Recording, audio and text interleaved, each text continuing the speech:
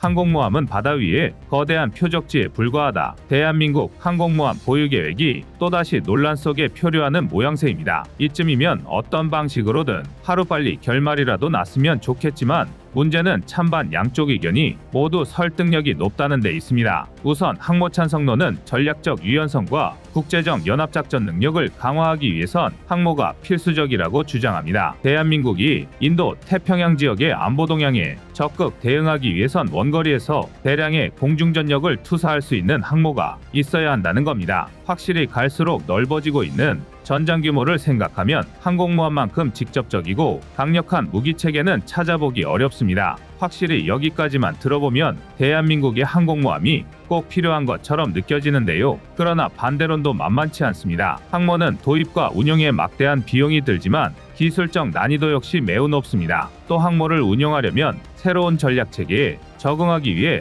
대량의 인력을 완전히 밑바닥부터 새롭게 양성해야 합니다. 그런데 여기에 필요한 기회비용과 항모의 필요성을 저울질해 보면 고개가 갸우뚱해집니다. 앞서 말씀드렸다시피 항모의 가장 큰 목적은 원거리 무력 투사인데 애초에 대한민국의 전략 구조는 한반도 내 지역 방어에 맞춰져 있습니다. 애초에 여기안보는 대한민국의 관심사가 아닙니다. 예컨대 대한민국은 항모를 도입한다고 하더라도 미국처럼 타국의 무력 분쟁에 개입 하는 용도로는 동원하지 않을 것이라는 겁니다. 1년 유지 비용만 수천억 원이 발생하는 값비싼 무기 체계가 콘서트함으로 전락하는 겁니다. 아닌 게 아니라 이미 독도급 대형 수송함이 갖은 해군 관련 행사에 동원되며 비슷한 전례를 남긴 적이 있는데요. 기회비용과 전략 전술적 유연성을 두고 한국형 항공모함 도입 논란이 불타오를 수밖에 없는 이유입니다. 하지만 오늘은 골치 아프기만 한 항공모함 보유에 관해 얘기하려는 게 아닙니다.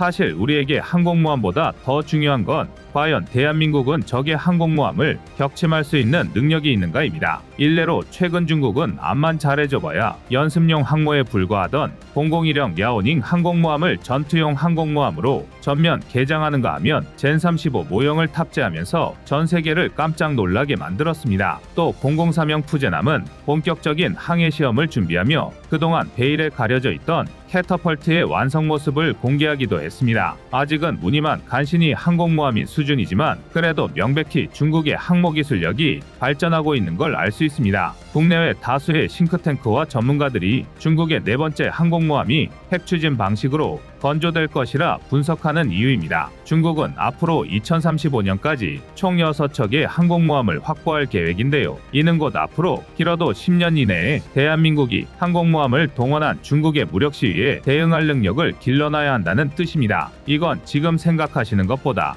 훨씬 더 심각한 문제입니다. 대한민국은 수출입으로 먹고 산다는 말이 나올 만큼 무역 의존도가 대단히 높은 나라입니다. 실제로 대한민국은 GDP 대비 수출입 비율이 자그마치 102%에 이릅니다. 이쯤이면 내수 기반이 취약해서 무역 없이는 경제 구조 유지가 불가능한 수준입니다. 그런데 이런 대한민국의 수출입 물동량 중 무려 99.7% 육박합니다. 사실상 대한민국 국민 전부가 직간접적으로 바다에 의존해 삶을 영위하고 있는 셈입니다. 정말 헛웃음밖에 나오지 않는 수치인데요. 우리 해군이 대양해군 건설을 최대의 과제로 여기는 이유입니다. 이제 대한민국의 국가적 규모는 한반도에 머물기 너무나 거대해졌습니다. 정말 만에 하나의 이야기긴 하지만 대한민국의 바다가 봉쇄된다면 우리는 경제적 고립이라는 최악의 결과를 맞이하게 될 것입니다. 그나마 긍정적인 지표는 이런 불상사를 막기 위한 방법이 우리 입장에서는 지나치다 싶을 정도로 간단하다는 건데요. 외교라는 이름의 탈을 쓰고 있을 뿐 국제관계는 정글이나 마찬가지입니다. 냉혹한 약육강식의 세계죠. 약하면 잡아먹힐 수밖에 없습니다.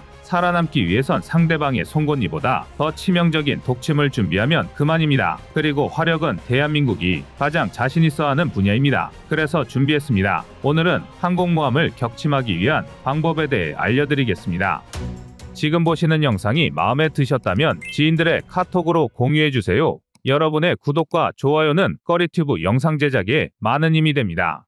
항공모함은 알려진 위상에 비해 훨씬 많은 약점을 가진 무기 체계입니다. 하지만 제가 이렇게 말씀드린들 믿지 못하는 분이 대다수일 텐데요. 그래서 현존하는 최강의 항공모함을 예시로 들어보겠습니다. 전장 332.9m, 전폭 78m, 배수량 10만 톤에 이르는 미국의 제럴드 알 포드급 항공모함입니다. 700메가와트 출력의 벡텔 A1B 가압수형 원자로를 두 기나 탑재한 괴물인데요. FA-18F 슈퍼 호넷, F-35C 라이트닝 2, EA-18G 그라울러, C2 그레이하운드, CMV-22B 오스프레이, E2D 호크아이 등 최소 75기 이상의 함재기를 탑재할 수 있으며 EMALS 캐터펄트 4기가 쉴 새 없이 함재기를 쏘아내 24시간 기준 최대 270회라는 정신나간 sortie가 가능합니다. 바로 직전급인 니미츠급 항모가 240회, 프랑스 샤를드골급이 55회로 추정되는 것과 비교하면 입이 떡 벌어지는 출격률입니다. 이런 웬만한 공군기지 뺨치는 출격률 덕분에 항공모함은 현대해전에 최강자로 자리 잡을 수 있었는데요. 자, 이쯤에서 제럴드 알 포드급의 함재기를 제거해 보겠습니다. 그럼 무장으로 남는 건 사거리 50km의 8연장 마크 29 ESSM 발사기 두기 사거리 12km의 근접방어 무기체계 21연장 마크 49 램발사기 두 기뿐입니다. 한순간에 전투력이 초라해졌는데요. 놀라운 건 그래도 제럴드 알 포드급 항공모함은 큰 덩치에 어울리게 그나마 무장이 다채로운 편이라는 겁니다. 영국의 퀸 엘리자베스급 항공모함은 만재 배수량 7만 600톤의 중형 항공모함이지만 함재기를 제외한 자체 무장이라고는 DS-30M Mark 2 30mm 기관포 RWS 4기와 Mark 15 Phalanx Block One CIWS 세 문 M134 minigun이 전부입니다. 항공모함의 역할은 어디까지나 함재기를 날려보내는 거지 스스로 미사일을 쏘면서 싸우는 게 아니기 때문인데요. 그래서 항모의 무장은 최후의 보루인 근접 방어 무기체계만 탑재되어 있는 경우가 허다합니다. 조금 더 직접적인 비교를 위해 정조대왕급 구축함을 예로 들어보자면 제럴드 알 포드급 항모의 10분의 1 수준인 만재 12,000톤 규모에 불과하지만 5인치 62구경장 K Mark 45 Mod 4 단장포 한 문을 시작으로 Phalanx Block One B 두 문 SSM 700K 해성 함대함 유도탄 4연장 발사통 두기 그리고 88셀에 육박하는 VLS와 324mm K Mark 32 모드 5 사면장어의 발사관 두 기를 탑재하고 있습니다. 항공모함과 비교하면 구축함이 아니라 합동화력함이 아닐까 싶은 정도인데요. 이렇게 배수량 차이에도 불구하고 구축함과 항모의 무장의 차이가 나는 건 함정의 목적 자체가 다르기 때문입니다. 항공모함은 함재기를 이용한 공격에 극단적일 만큼 모든 배수량을 투자한 기형적인 함정입니다. 따라서 함재기를 제외한 항공모함의 자체적인 무장은 간신히 체면치레 나 하는 수준입니다. 그리고 이는 아주 흥미로운 과정을 가능하게 하는데요. 바로 타격만 할수 있으면 항공모함을 격침하는 건 어렵지 않다라는 겁니다. 더욱이 항공모함은 한 척을 격침할 때마다 수십 대의 함재기가 함께 수장됩니다. 또한 수천 명에 이르는 승조원까지 생각하면 부대 하나를 전멸시키는 셈입니다. 전술적으로 투자 대비 굉장한 효율을 볼 수 있는 건데요. 실제로 같은 이유에서 최근 대만은 타강급 스텔스 초계함 두 척을 실전에 배치했습니다. 대만 언론이 이른바 항공모함 킬러로 표현하는 바로 그 함정입니다. 타강급 초계함은 만재 670톤 규모의 소형 초계함이지만 오토멜라라 76mm 62구경장 Super Rapid 함포 한 문 CIWS 레이시온 마크 15 Phalanx Block One 한 문을 시작으로 TC2N 함대공 미사일 16발, 슝펑 계열 순항 미사일 12발을 탑재할 수 있습니다. 배수량을 생각하면 과할 정도로 많은 무장인데요. TC2N의 경우 사거리 30에서 50km로 미사일 요격은 물론 항모 직접 공격이 가능하고 슝펑 미사일은 사거리만 600에서 800km에 이르는 대만판 토마호크입니다. 모든 무장이 항공모함 사냥에 치중되어 있습니다. 대만은 평소에 타강급을 초계 임무에 동원하다가 유사시 저피탐성을 앞세워 중국 항공모함의 화력을 집중하겠다는 계획입니다. 중국 함정 특유의 부족한 레이더 성능을 공략하겠다는 건데요. 넓은 관점에서는 청년 악화와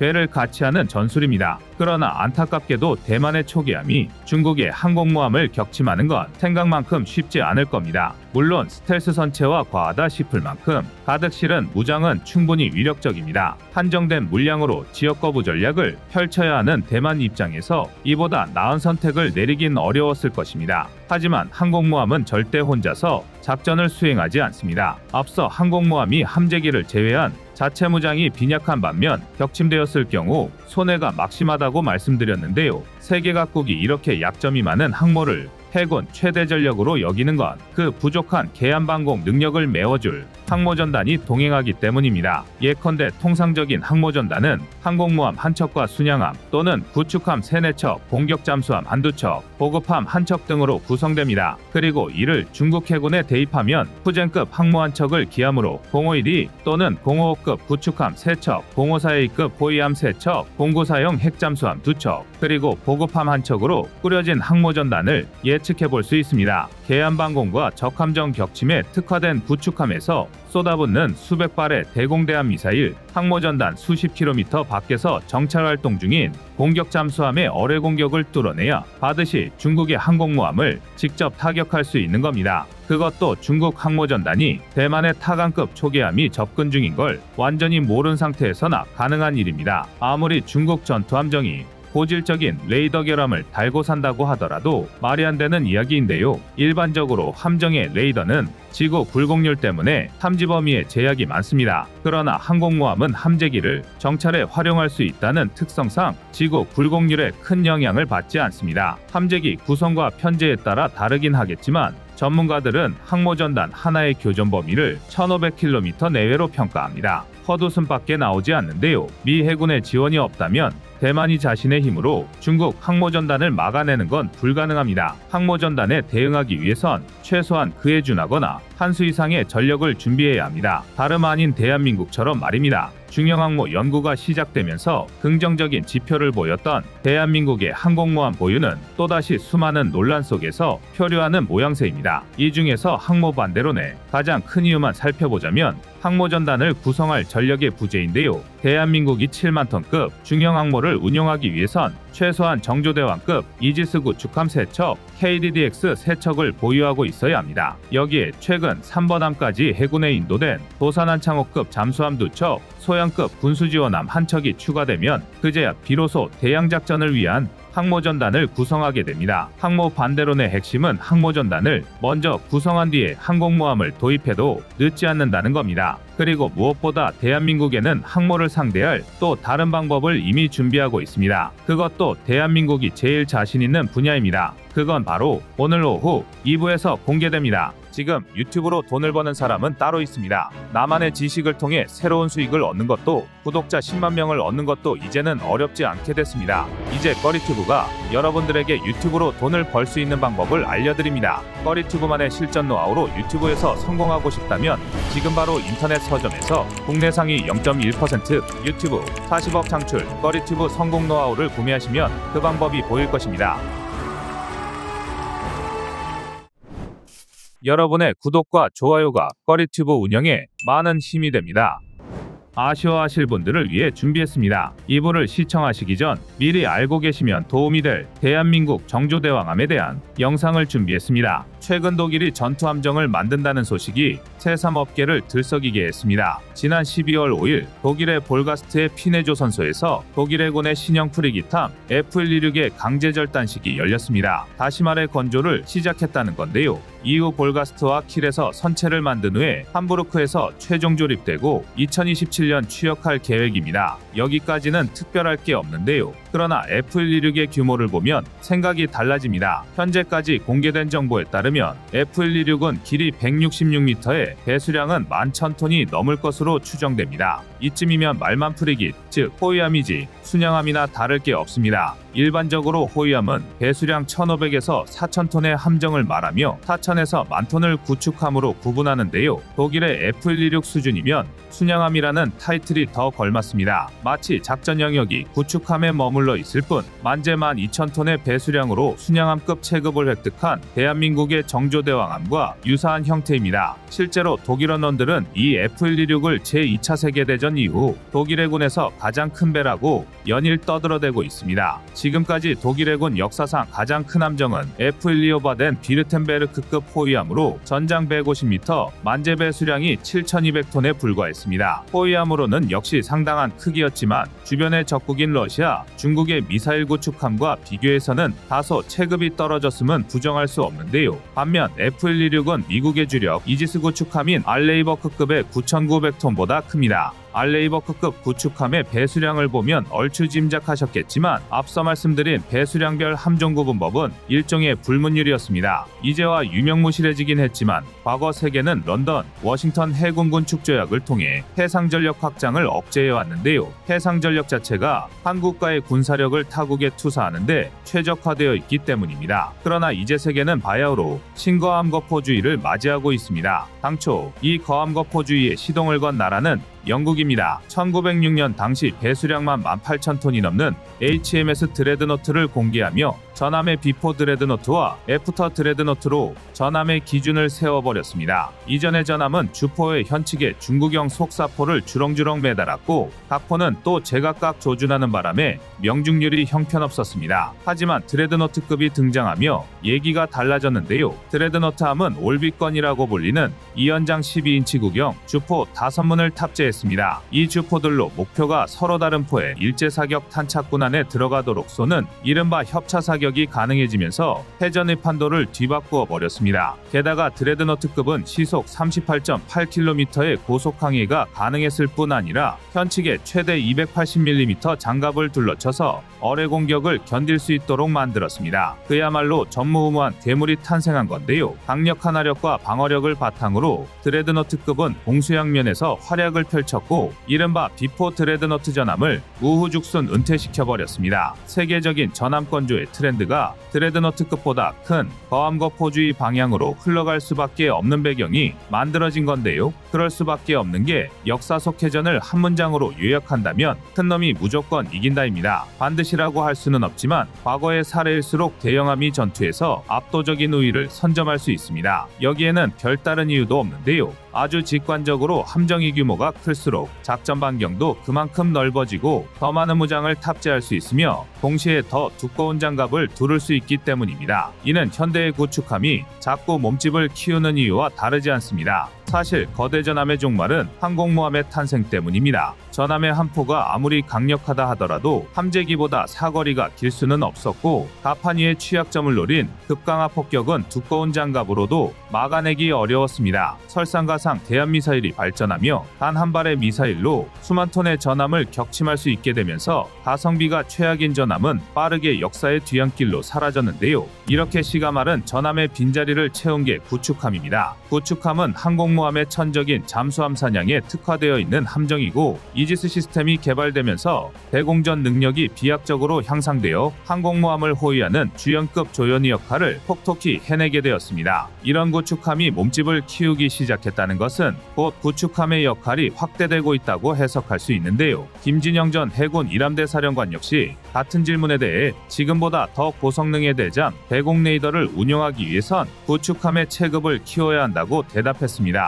실제로 대한민국의 정조대왕함과 직전급인 세종대왕급 구축함의 가장 큰 차이 중 하나가 바로 대잠수함 바오소나인데요. 정조대왕급의 바오소나는 신형저주파 선체 고정 소나를 탑재하면서 크기가 훨씬 커졌고 이에 따라 함정 체급 역시 키울 수밖에 없었습니다. 이는 비단 대한민국만의 경향이 아닌데요. 중국의 055형 구축함 역시 적에도 인공위성까지 추적할 수 있다고 주장하는 346B형 능동 이상 배열 레이더와 사거리 300km의 HHQ-9B 함대공 미사일을 탑재하기 위해 만재 배 수량을 13,000톤까지 키웠습니다. 바로 직전급인 052D형 구축함이 만재 배 수량 7,500톤 수준임을 감안하면 거의 두배 가까이 몸집을 부풀린 것입니다. 게다가 이제 구축함의 대공 임 무 영역은 단순히 적항공기나 대한미사일을 격추하는 데 벗어나 탄도미사일 요격 영역까지 확대되고 있습니다. 단적으로 대한민국의 정조대왕함만 보더라도 함수의 48셀, 한미의 40셀의 VLS를 탑재하며 SM6 운용이 가능해졌는데요. 직전함급인 세종대왕급이 운용하던 SM2 미사일이 24km 이내 탄도미사일만 요격할 수 있었던 것에 비해 정조대왕함은 15에서 34km의 고고도 직전 탄도미사일까지 요격할 수 있습니다. 게다가 KVLS2를 탑재하면서 장기적으로 40에서 100km의 고고도 요격이 가능한 SM-1, SM-2 함대공 버전 요격 미사일을 운용할 여지를 남겨두었습니다. 중국의 동해함대가 갈수록 규모를 키워가는 현 시점에서 이는 매우 중요한 전력 강화입니다. 중국의 동해함대는 중국 인민해방군 해군의 3대 함대 중 하나로 1949년에 창설됐는데요. 중국 함대 중에 가장 먼저 생긴 곳이기도 합니다. 사령부는 저장성 닝보에 있는데 작전구역은 동중국해, 즉 센카쿠 열도나 오키나와, 대만 등인데 현재 중국 해군에서 가장 많은 돈을 쏟아붓는 곳입니다. 참고로 닝보기지에서 우리나라 제주도까지는